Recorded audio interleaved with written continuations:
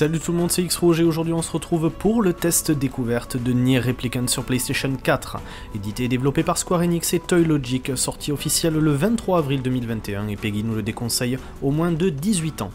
17 sur 20 de moyenne générale sur Metacritic et comment ne pas être d'accord avec ce site? Pour ceux qui ne connaissent pas, si vous n'avez pas eu l'occasion en 2017 de faire Nier Automata, car je pense que la plupart qui regardent cette vidéo n'ont peut-être pas eu l'occasion de faire Nier, car Replicant n'est d'autre que le préquel de Nier Automata, lui-même sorti en 2010 sous deux versions, Nier Gestalt et Nier Replicant, une qui était sortie au Japon et l'autre en Europe. Pour les plus observateurs d'entre vous, ceux qui ont pu faire le premier Nier à l'époque, vous allez vous dire, le héros ne ressemble pas vraiment au Nier adulte que l'on avait l'habitude de côtoyer dans ce premier opus. Oui, c'est assez logique, car c'était plutôt une question dite marketing. Les japonais pensaient que le jeu allait mieux se vendre si on incarnait plutôt un homme d'âge mûr plutôt qu'un euh, jeune bad boy aux cheveux euh, blancs. Mais l'histoire reste vraiment la même. Le héros est le même, il porte le même nom, il s'agit de Nier, sauf qu'à l'exception, quand on incarne l'adulte, il doit sauver sa fille appelée Yona, et là, dans cette version, vu qu'il est plus jeune, eh bien il doit sauver sa sœur. Quelques lignes de dialogue changent, mais ça reste vraiment du même acabit.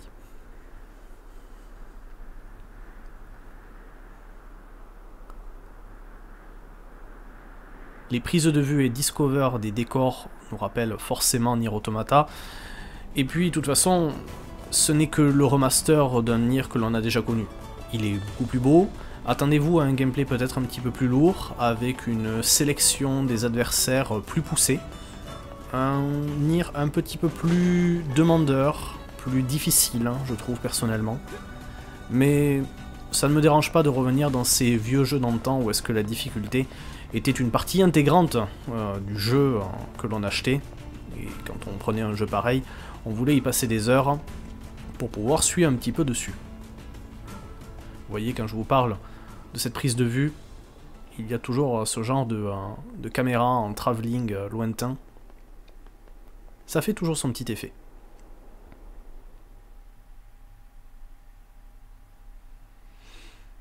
Les temps de chargement, si vous avez fait donc Nier Automata, vous avez vu qu'il y a écrit Popola au début du livre, oui.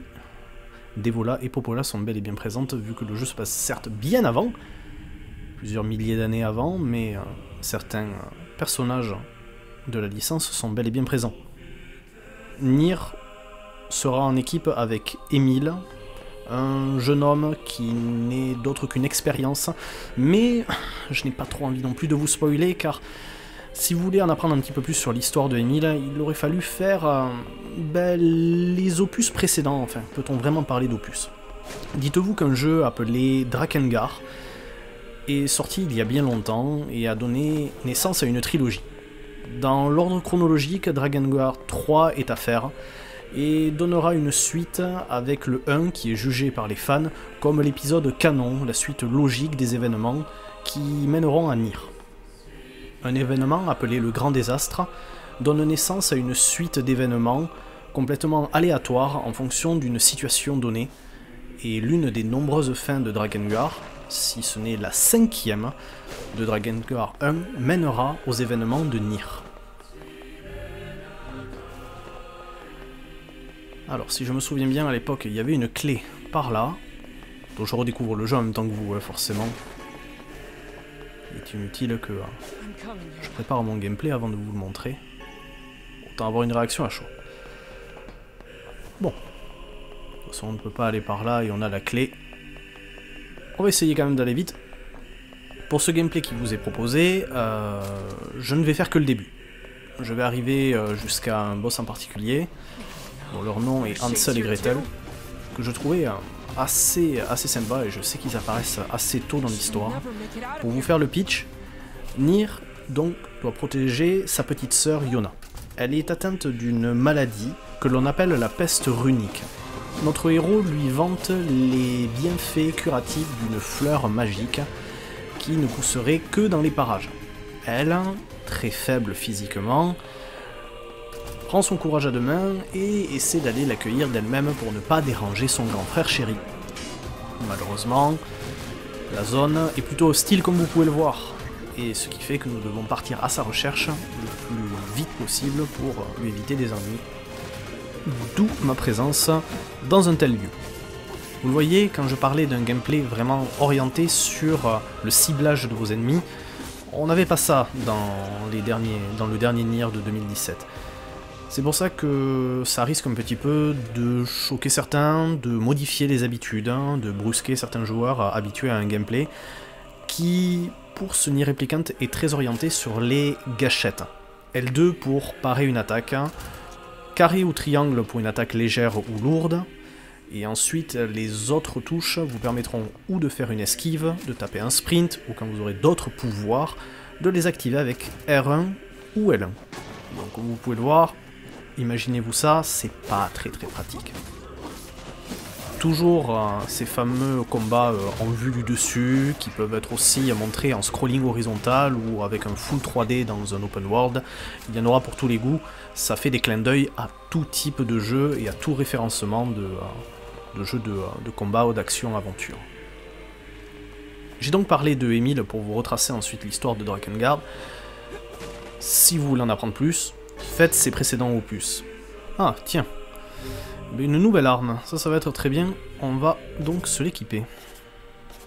Ouais, 106, elle fait un petit peu plus mal. On va avoir de léger à moyen. Est-ce que je tape peut-être plus fort? Enfin, plus lentement plutôt. Bref, il sera donc également accompagné de Kaine. Vous ne l'avez pas encore vu à ce moment-là du jeu et c'est normal, elle n'arrivera que plus tard.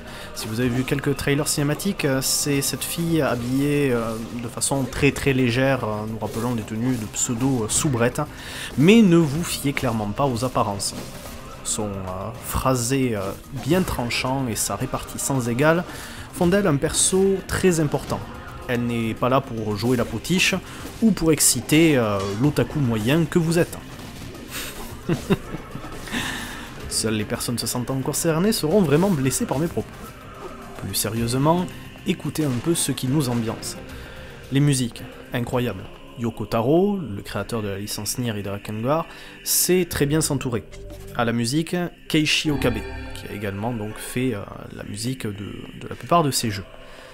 Pour information, si vous avez un petit peu l'oreille et que vous écoutez beaucoup de musique d'anime, de manga et autres, j'ai trouvé personnellement, avant même de le savoir, qu'il y avait un style très très Ghost in the Shell dans la plupart de ces musiques. Et une dédicace d'ailleurs à tous ceux qui connaissent cet animé et manga exceptionnel qui est de loin l'un de mes préférés. Yoko Taro, pour la petite anecdote, a demandé à son ami Okabe, après avoir écouté Ghost in the Shell, pourrais-tu me faire une musique pour une licence de jeu euh, qui sera très long, orienté RPG, mais euh, je te donne carte blanche pour mettre ta patte artistique, mais en reprenant les bases des sonorités de Ghost in Shell. Bingo, ça a fait carton, ça a fait mouche, et on a un IR accompagné de musique somptueuse, donc euh, un grand respect au compositeur Keishi Okabe. On reste encore avec des phases de combat euh, en vue du dessus. Mais comme j'ai 10 sur 10 en plantes médicinales pour me remettre de la vie, je vais me healer. Et prendre celle qui reste. Voilà. Hop là. J'arrive, Sorette. Ne décède pas. Sachez aussi pour info que le jeu a été euh, redoublé intégralement. Et les musiques ont été, euh, bien entendu, euh, réaméliorées en l'air du temps. On a vraiment, en fait, c'est comme si, outre le, visu, certes, décoratif, qui, qui met l'ambiance dans le jeu, paraît un peu vieillot, certes, on sent clairement que le jeu a été revu et que c'est véritablement un remaster. Je ne vais pas parler de reboot non plus, mais c'est un très bon remaster. Si vous voulez aussi en savoir plus euh, un petit peu sur le lore, pour ceux qui se posaient la question pourquoi l'un portait le nom de Réplicante et l'autre Nier portait le nom de Gestalt, sachez que l'on vous apprend dans le jeu, quand vous faites Drakengard, que Gestalt est le principe de retirer l'âme d'un corps et de le mettre dans un autre corps qui a été copié, qui a été créé partiellement. quand on parle de copie d'un corps, on parle aussi d'un répliquant. D'où euh, le nom en fait du deuxième CD. Désolé, j'ai eu un, temps de chargement qui m'a renvoyé au menu, donc euh, sachant que je vais faire en post-prod une petite fondue enchaînée, je me retrouve juste après la porte. Désolé euh, pour ce petit contretemps. On arrive enfin au sommet. je pense que, ouais, Hansel et Gretel devraient pas être bien loin. je vais avoir la phase puzzle game à faire. Ce truc rouge que vous, venez de voir en bas à gauche, ce sont des points de sauvegarde, ce sont des boîtes aux lettres. Hein. Et vous pouvez donc sauvegarder. Quand je parlais de puzzle game, vous allez avoir euh, pas vraiment des énigmes, mais le jeu va vous contraindre à vous déplacer d'une certaine manière pour pouvoir esquiver certains obstacles, euh, faire front à d'ailleurs une attaque qui pourrait être genre imparable, à bloquer la source même de l'attaque pour pouvoir vous déplacer par la suite. Euh, je parle par exemple de, rayons, de, boules de dégâts qui pourraient avancer vers vous. Et là, c'est juste un simple, une simple caisse à amener. Quoi. Je pense même pas qu'on puisse parler de puzzle game à ce niveau. Enfin, là, c'est, on est plutôt sur du jeu, euh, du jeu de plateforme. Si. Non, remarque, non. Bizarrement, ouais, c'est, assez bizarre de le dire, mais bon. Oui, on doit déplacer quelque chose, donc on est sur, sur du puzzle game. C'est con à dire, hein, parce que ça paraît tout bonnement simpliste. Mais appelons un chat un chat.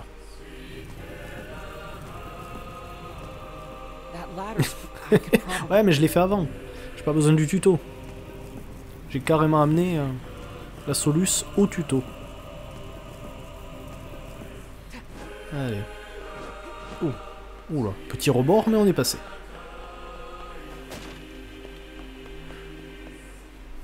J'espère en tout cas que si vous continuez euh, de suivre ce euh, test découverte à cette minute-là de la vidéo, c'est que le jeu doit sûrement vous parler, vous plaire, et franchement, croyez-moi, vous en aurez euh, pour votre argent. Il est sur euh, le PlayStation Store pour une cinquantaine d'euros. Franchement, ce serait idiot de passer à côté. Vraiment.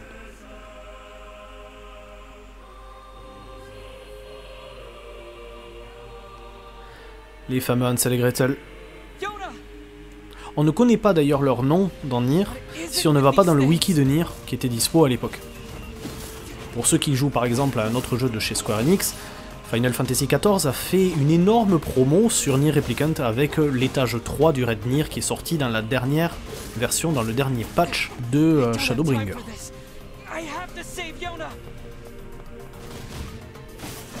C'est fou tout ce monde qu'il y a. Allez hop. De toute façon, ils apparaîtraient à l'infini tant que euh, je ne pète pas la capsule qui renferme votre cher ami. le bouquin. Notre, cher grimoire. Vous allez très vite comprendre.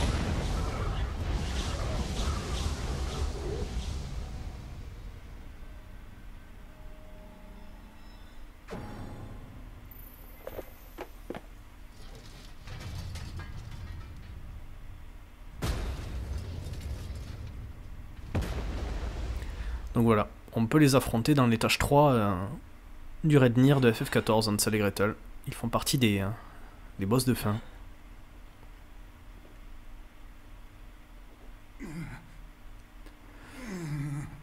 Le petit grimoire Weiss qui vient de se réveiller.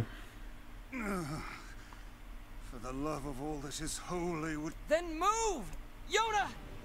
By the heavens, I have never been treated in such a manner. Faut, voilà. Faut l'appeler, qui nous aide. Petite scène de dialogue, je vous laisse profiter. There. So how do we save Yoda?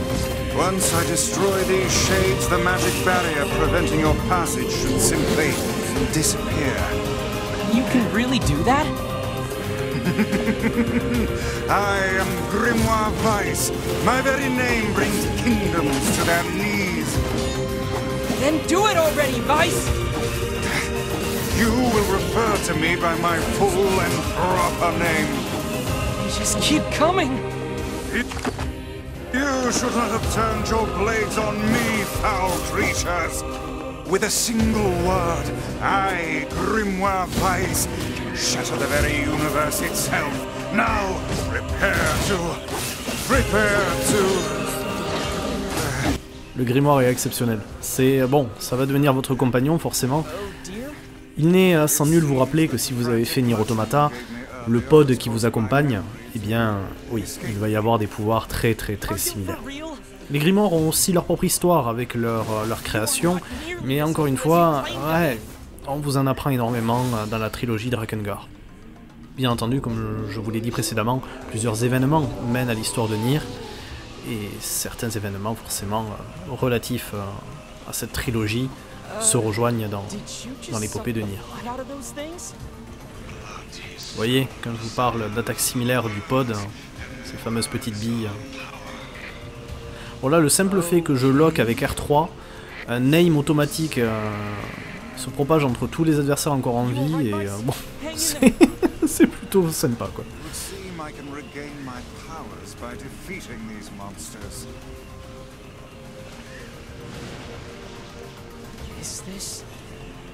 Et une fois qu'on les aura tous décimés, les deux gros du fond.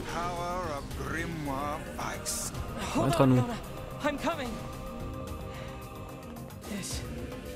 Is that all of them?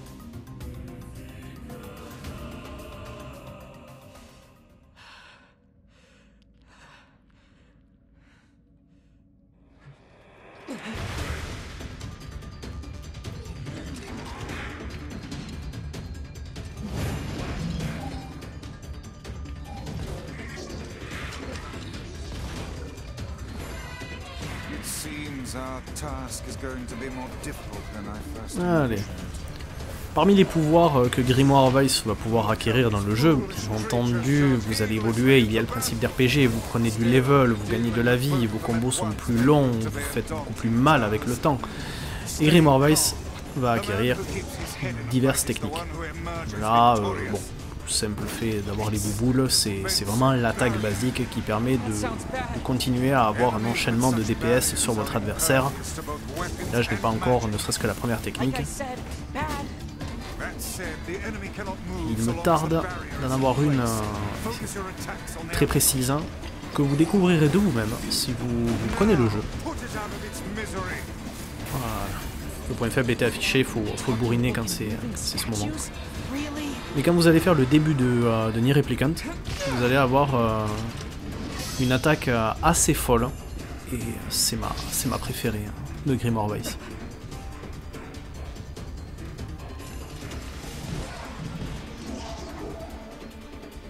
Je ne me rappelle plus. Oui, d'accord, ok, donc ce n'était pas qu'une simple cinématique, hein, d'accord. Je peux désormais utiliser les lances. Vous vous concentrez avec L1, vous relâchez, ça part dedans. Maintenez R1 pour continuer à faire les bouboules, comme je vous ai dit. L1 et R1 étaient les pouvoirs de, votre livre.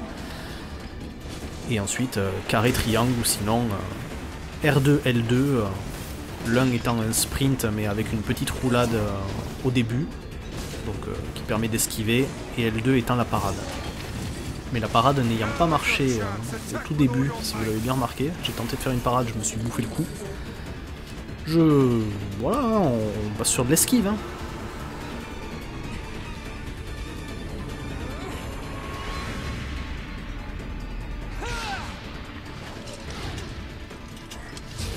Oh Allez, dans l'œil. Ah, j'avais oublié ça. Incroyable. Ce combat, je le trouvais génial pour l'époque. Je le trouvais magnifique. Euh, putain d'action, euh, super immersif. Mais là, de le voir en HD comme ça.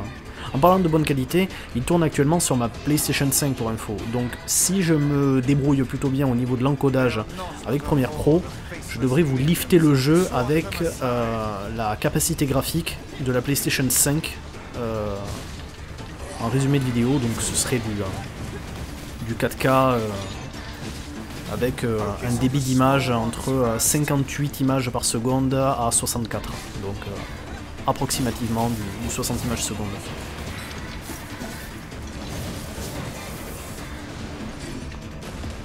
Le point faible affiché.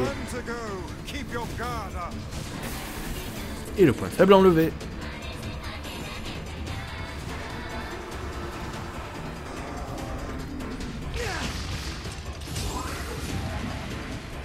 Oh là là. Oh oui, oh oui. Oh le finishing. Incroyable. Et bien c'est fini Dansel et Gretel. Quel match. Si euh, cette première euh, pseudo-quête euh, vous a plu, dites-vous que je suis vraiment au début du jeu, mais vraiment. Donc si ça déjà ça vous a hypé, un monde open world s'offre à vous après, divers décors, une histoire incroyable. Et je vous laisse sur ces dernières lignes de dialogue entre les retrouvailles de Nir et de Yona, en espérant que mon test vous aura bien plu. Sur ce, je vous dis à très bientôt pour une prochaine vidéo. Portez-vous bien tout le monde, et à ciao Perhaps we'd best depart, hmm? The shrine's about to collapse. Come on, Yona, let's go!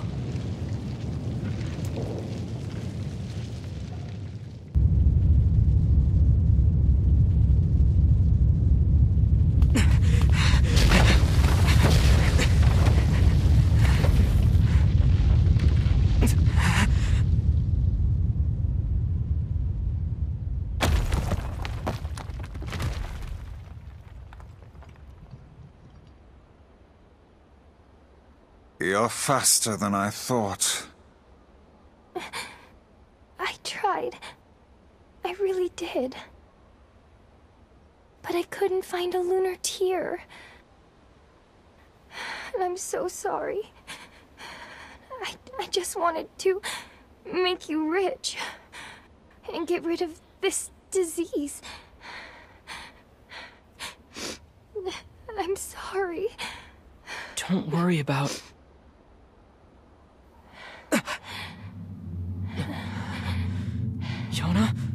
What's going on?